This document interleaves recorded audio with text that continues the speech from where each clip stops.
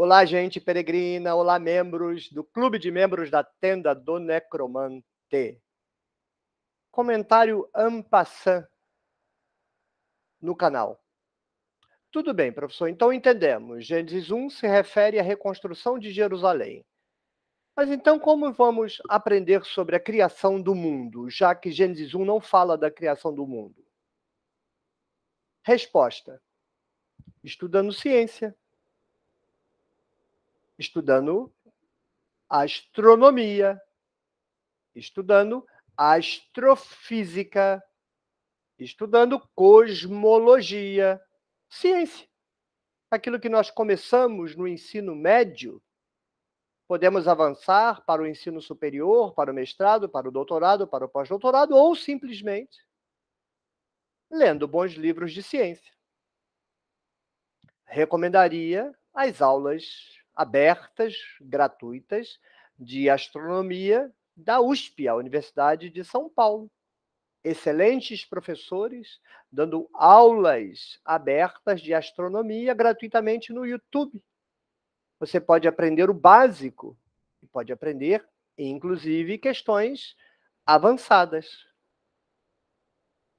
A declaração das religiões, da criação do universo, não é uma informação é um mito. Bastaria você, perdendo aquela condição solipsista, voluntarista, o sujeito preso dentro dele mesmo, sozinho, surdo, cego, mudo nunca. Que pena, porque aí não falaria tanta asneira. Mas ele é cego e surdo, ele não escuta ninguém, ele não vê nada. Mas se ele pudesse escutar e ver, ele juntaria à sua mesa todos os mitos de criação que há no planeta hoje, sem considerar os mitos do passado. Hoje, cada religião tem seu mito de criação. E é mito, não tem informação nenhuma. Ah, professor, mas eu conheci uma pessoa que diz que a religião dele é ciência. Não é, não tem religião nenhuma, que tem nada de científico, nada não é que ela não é ciência, ela não tem nenhum item, nenhum ponto do seu dogma que seja algo próximo de ciência. É mito, só mito e nada mais do que mito. Mas se você quiser comparar todos os mitos de criação, você vai ver que você tem que escolher. O mito de criação do cristianismo é um dentre centenas. Cada crente no mito da criação acredita no mito de criação dele.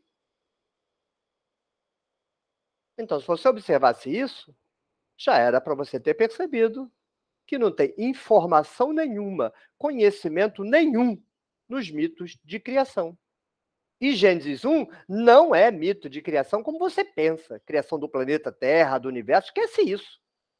É um modo meramente cultural de ressignificar, de dar uma importância mágica, cosmogônica a uma operação humana, a construção do templo. Os homens construindo o templo é como se Deus estivesse construindo o seu mundo, o mundo dele, não o mundo, o planeta, nada disso, essas tonterias. Como você aprendeu errado a Bíblia inteira, a sua vida inteira, você ficou com aquela dependência química, você é um dependente, você é um adicto do mito. Então, como você descobriu agora que Gênesis não fala nada do que te disseram, aí o seu cérebro agora está independente. Preciso de um mito da criação, preciso de um mito da criação. Não, não precisa de mito da criação nenhum. Esquece isso serve para nada, mito da criança. Não, eu preciso dar um sentido à minha existência. Precisa nada. Esquece essas patacoadas que você ouviu de um sujeito que fala mais patacoada ainda, que por sua vez ouviu de outro que fala mais patacoada ainda. Esquece isso. E se concentra em estudar, em aprender ciência, aprender biologia, aprender astrofísica. Isso é que você precisa. Biologia para esquecer essas tonterias de criação do homem e astrofísica, para esquecer essas tonterias de criação do universo. Agora, se a sua pergunta não é de caráter heurístico, se você não quer aprender mesmo, estudar, você quer um mito para chamar de seu, procure a religião que melhor te agradar, pega o mito daquela religião e sai repetindo. Tá ótimo. Qual mito, professor? O que você quiser, porque é tudo invenção mesmo. Mas se você precisa, se você tem uma necessidade psicológica, escolha um mito que você ache bacana. Ah, quero o mito da igreja. Ótimo, vá ser feliz.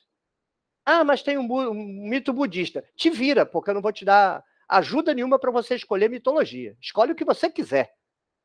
Mas você está certo, tem o mito budista, tem o mito cristão, tem o mito shintoísta, tem o mito confucionista. Não, confucionismo não é religião. Que não é religião, querido. Vai estudar. Até o presidente do Partido Comunista tem mandato celeste para ser, não é religião. As tonteria que a gente escuta. Então, vai escolher o mito que você quiser e vai ser feliz. Agora, aqui na tenda, Mito nós tratamos como o que é. É uma falsa explicação sobre a realidade. Falsa. Quem acredita em mito está sendo enganado. Se você acredita no mito religioso como se fosse a descrição da realidade, você está errado, você está sendo enganado, porque mito nenhum descreve realidade nenhuma. O mito produz uma falsa compreensão da realidade. Para o cara é a descrição, mas ele está errado.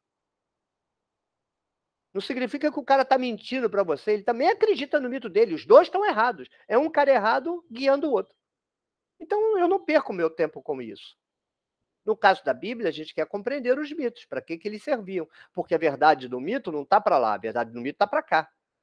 Você precisa decodificar o mito e compreender o que é que o autor quis dizer com aquilo. Mas quando a gente tirou os mitos da Bíblia, criou mitos ontológicos, descrições verdadeiras da realidade, aí já é erro, equívoco, ignorância, má fé, manipulação, tudo junto.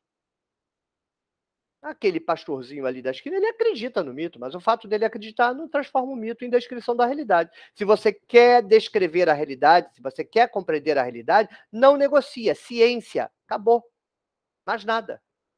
E no caso da compreensão da realidade em sentido do universo, aí você não vai estudar biologia, você não vai estudar história, você vai estudar astrofísica, astronomia, cosmologia.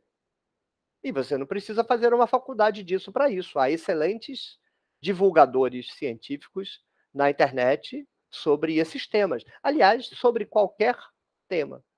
Eu só aconselho que você desenvolva uma cultura geral, uma boa capacidade cognitiva, porque você vai se estudar pela internet, vai ter que estudar por conta própria, sem ter retorno do professor tirando suas dúvidas.